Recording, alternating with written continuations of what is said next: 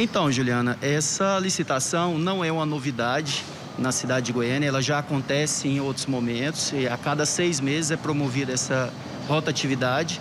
O intuito dessa rotatividade é único exclusivamente de promover a rotatividade de uma forma organizada. O que, que seria essa, essa rotatividade de uma forma organizada? Esses pontos, o qual está sendo licitado agora, que é a rodoviária central e a rodoviária de Campinas, elas têm características e exigências diferentes dos demais pontos. Que seja elas, vou citar aí, por exemplo, a rodoviária central.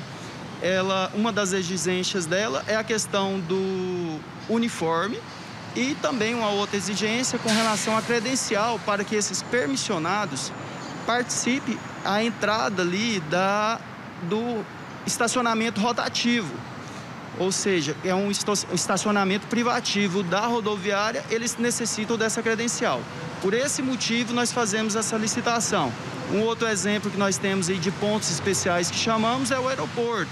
O aeroporto de Goiânia também tem as características diferentes, o qual os seus veículos têm que ter uma cilindrada maior nos seus motores e uma litragem maior aí nos seus porta-malas para atender aí os passageiros daquele, daquele ponto especial. Bem específico, né? Quantos permissionários a gente tem hoje?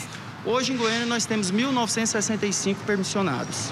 Quantas vagas tem disponíveis aí nesse processo? Nesse processo, para a rodoviária central, nós temos 20 vagas de rotatividade e para a rodoviária de Campinas, quatro vagas. Certo. Muita gente assistindo a gente agora, interessado nisso, né? Muita gente querendo trabalhar ou então se adequar para ocupar vagas, especialmente nesses locais aí. Quem é que pode, secretário, participar e quem é que não pode? Sim.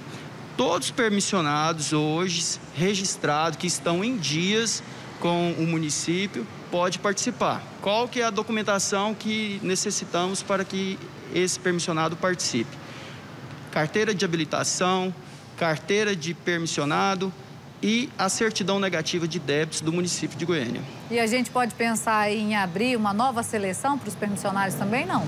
Não, no momento não tem previsão para estar abrindo um, essa nova novas permissões na cidade de Goiânia. E como é que está a situação dos mototaxistas hoje? Ah, os mototaxistas é uma outra preocupação que a secretaria tem em se tratando de que esses mototaxistas, cada dia que passa, está entrando mais em extinção.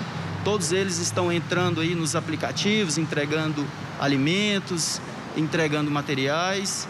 E pensando nisso, a nossa secretaria, juntamente o nosso superintendente, tem feito um estudo de uma forma que possamos regulamentar a, a profissão mototaxista, da mesma forma que os taxistas, os mototaxistas participar de curso, fazer adaptação da moto, é, onde os taxistas também fazem as vistorias dos seus veículos, os motoqueiros também vão ter que fazer as vistorias para a gente estar tá regulamentando, para a gente estar tá voltando à rotina dos mototaxistas aí na cidade de Goiânia. É, muita coisa mudou durante a pandemia e com a tecnologia também as coisas foram mudando muito para muita gente que tinha o costume de trabalhar de um jeito, teve que se adaptar. Para a gente encerrar aqui, secretário, como é que as pessoas fazem para saber mais desse processo seletivo? Onde podem se inscrever? Está disponibilizado no site da prefeitura, no site da, da secretaria.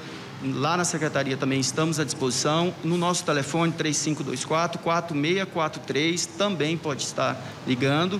Estamos esperando todos esses permissionados do dia 21 ao dia 25 do 6 agora para estar entregando seus envelopes com as suas documentações.